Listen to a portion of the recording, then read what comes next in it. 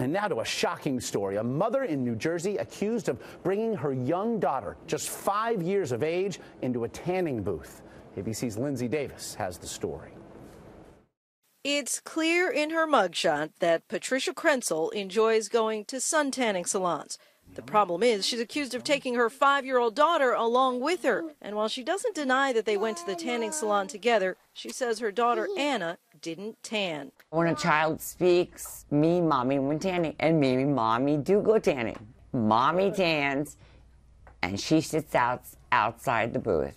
The 44 year old New Jersey mom was arrested and charged Monday with second degree child endangerment as a result of her daughter's sunburn.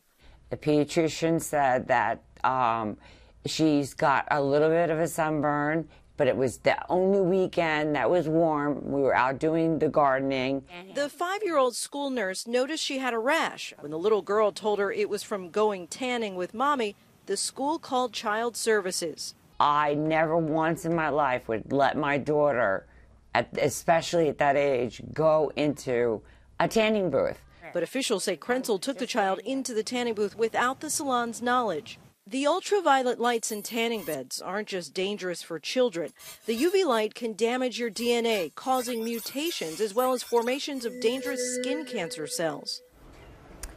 As in most states, New Jersey law does not allow anyone under the age of 14 to use a tanning facility, and older teens require parental consent. Krentcil is currently out on $25,000 bail. She will enter a plea of not guilty today.